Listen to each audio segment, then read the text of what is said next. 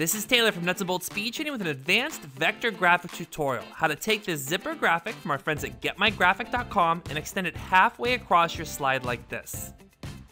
And here in PowerPoint with my vector graphic, I'm gonna first zoom out by clicking the minus sign in the lower right hand corner of my screen until I'm at a zoom of 50%. I'm then gonna select the graphic and hit Control Shift G. And you wanna continue hitting Control Shift G to ungroup your graphic until you're at the level where you can grab these threads individually. Holding shift, I'll select both of the threads, hit control D to duplicate. I'm gonna move them up a little bit off of my graphic. I then wanna flip them horizontally. So I'm gonna, from the home tab, select the arrange tool, navigate to the rotate command and select flip horizontally. Then gonna hit escape and you wanna place these threads here at the ends of your other threads so they extend off the screen and you want to place them until they fit perfectly together like this, with the edges of the two shapes creating a little seam down the center. With the objects placed, holding the shift key, select the original object and then the new object, and then you want to use the combine shapes tool. I have mine here on my QAT, which you can download on our website. Select combine, and the two objects become a single object here in PowerPoint. And you can also use the union command.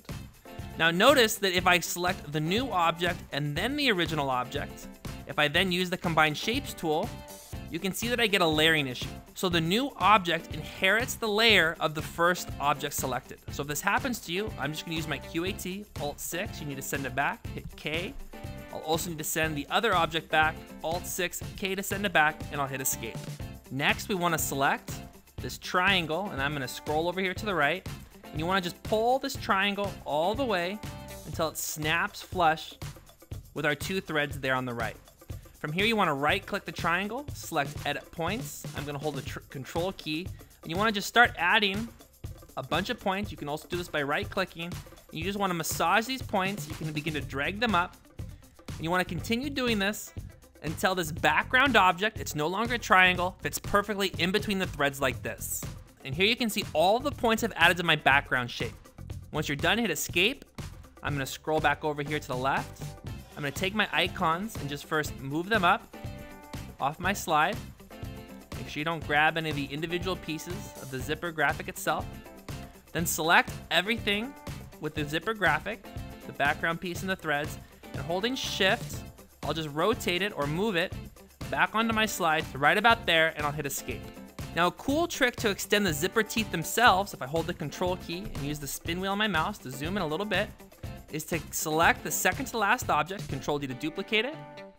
Use your smart guides to place it perfectly over the last object in your vector graphic and then hit Control D one, two, three, four, five, six times and you can see the teeth perfectly align along my zipper thread.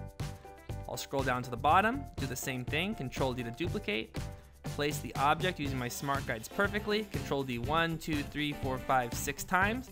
I'll then use my spin wheel to zoom back out to 50%, hit escape, and you can see my vector graphics almost ready to go. From here, I just need to rearrange my icons until I have something like this. And I've mixed my blue and red icons there on the right.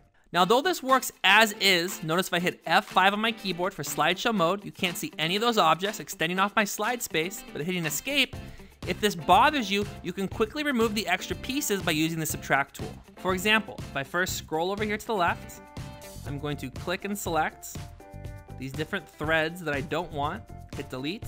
I'm then gonna grab a rectangle for my QAT. If I draw it so that it encompasses the objects that I want to get rid of, holding shift, select the object I wanna keep, holding shift, select the object I wanna subtract away, combine shapes tool, subtract, and you can see the thread is removed there on the left. I'll do this again. You unfortunately need to use one rectangle for each object that you wanna get rid of. Position it right about there.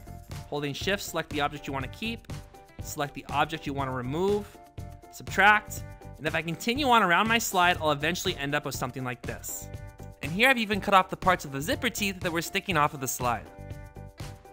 So that's how you can take this zipper graphic from getmygraphic.com and extend it halfway across your slide. This is Taylor from Nuts and Bolts Speed Training, and I'll see you at happy hour.